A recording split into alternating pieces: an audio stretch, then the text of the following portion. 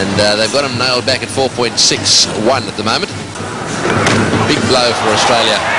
Oh, he's taken the bails off, and again they're asking for a replay. Well, didn't get him last time round, and that was a delayed little uh, number, that one. He uh, looked down at the crease. He obviously wasn't out of his crease. He lifted his foot, then he pulled the bails off. Let's have a look. I think he's gone, Tony. You'll have to take a look. His leg is inside there, then he just decides to go for a run, and this is where Kaluwitharana takes the bails off.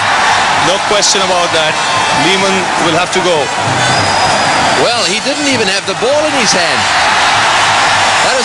Break for Sri Lanka. And though he's a fighter. Have a look at this. Watch the ball. Missed by the wicketkeeper. It wedges behind his gloves. He looks around. There's no ball in the wicketkeeper's gloves. Then he just grabs it and flicks the bails off.